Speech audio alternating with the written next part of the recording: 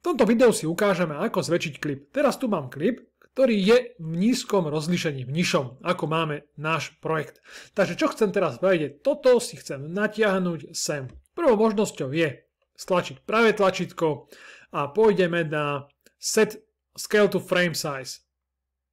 Alebo vrátim sa, máme pravé tlačítko a dáme Set to Frame Size. Ja sa ešte vrátim, ale otvoríme si tu Effects a tu v Effects Controls máme Motion a v Motione máme Scale.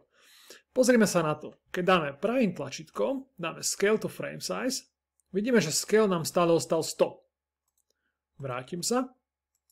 Ale keď to dáme Set to Frame Size, tak vidíme, že to je 150. A toto chceme, toto je také lepšie, lebo tu sa potom s tými vieme hrať, lebo to naozaj zväčšilo. Ono to je proste zväčšené na 150 a nie, nedostalo to stále na stovke. Môžem to robiť aj manuálne, takže scale si upravím, ako ja potrebujem. Alebo stlačím motion a môžem tu takto upravovať toto okno, posúvať.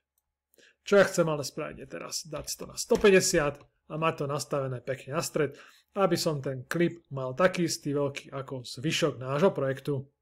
Takže toto je ďalšie krátke video o tom, ako si vieš upraviť veľkosť nejakých menších alebo väčších klipov.